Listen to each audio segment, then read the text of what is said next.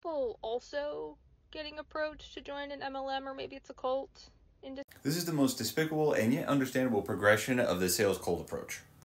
Obviously, when it comes to sales, the first hurdle that you have to jump across is trying to figure out who your customer base is. And nine times out of 10, it's usually going to include people with discretionary income. When it comes to multi level marketing schemes or MLM schemes, what you're also looking for is people who want to make enough money that they can actually purchase into the program if that's what the program requires, as well as a need for more money.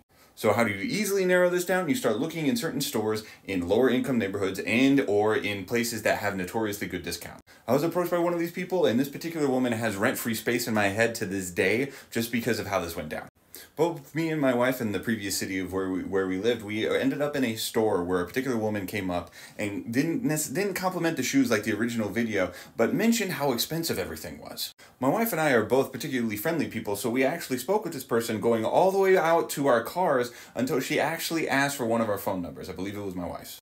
Well, me and my wife just assumed that we had made a new friend and we were very, very excited. Lo and behold, we get a text from her where she is asking if she can come over and explain this program to us immediately I am skeptical and just flat out say no. And my wife inquires via text further as to what this program would be. She proceeds to further explain some level of market, multi-level marketing where you can unlock your earning potential. My wife, gracious woman that she is, flat out just refuses, but does say, "But you seem like an interesting person. Can, is there any way that you know we could still be friends?" Her response, and I quote, "I have enough friends, thanks anyway."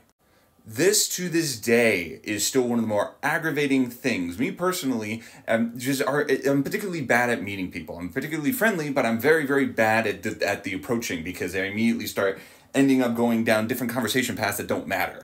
Uh, we as a couple were actually approached by someone and we were like, oh, maybe this can actually be a burgeoning friendship. But no, apparently she had enough friends, such good friends that she ended up getting wrapped up in this as a single mom. Yes, as part of these conversations, we found out that she was a single mom and this is how she was paying for it.